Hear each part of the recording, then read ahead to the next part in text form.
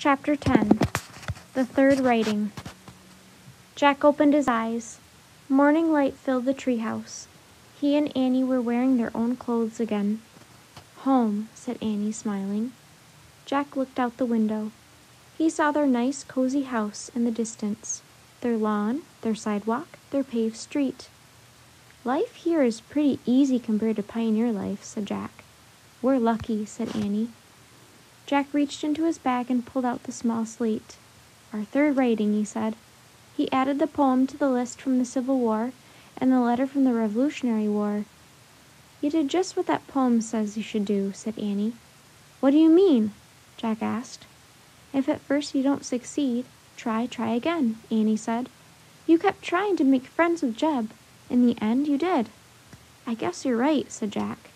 We have to get only one more special rating for Morgan's library, said Annie. I wonder how that will help save Camelot, said Jack. Annie shrugged. It's a mystery, she said. She and Jack looked around the treehouse. Look!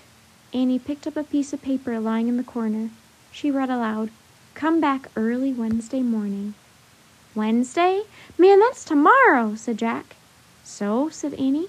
She started down the rope ladder. Not much time to recover, said Jack, pulling on his backpack. Recover from what? Annie said. The twister, said Jack. Oh, yeah, I'd almost forgotten about that, said Annie. Jack smiled. Actually, the nightmare of the twister was fading from his memory, too.